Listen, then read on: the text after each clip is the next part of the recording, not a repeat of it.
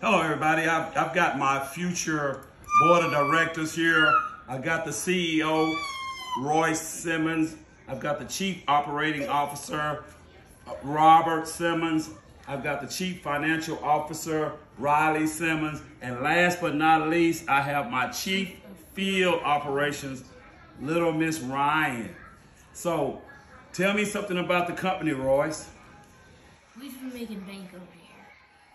So what? We've been making bank. Out. Okay, okay. He, that's what a CEO would say. We have to make a bank to stay in business. What you got to say, Riley? Uh, What?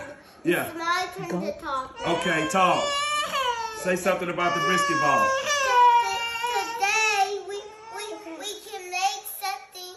So so we're doing coffee. So so Poppy's the big police officer, and, and baby Ryan.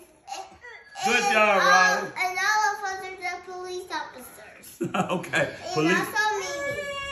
Here we go. All right, Robert, what you got to say? Poppy has been making good stuff. So I hope you you try it. Okay, thank you so much, future officers. Now let's conduct, let's continue to conduct business in a professional manner.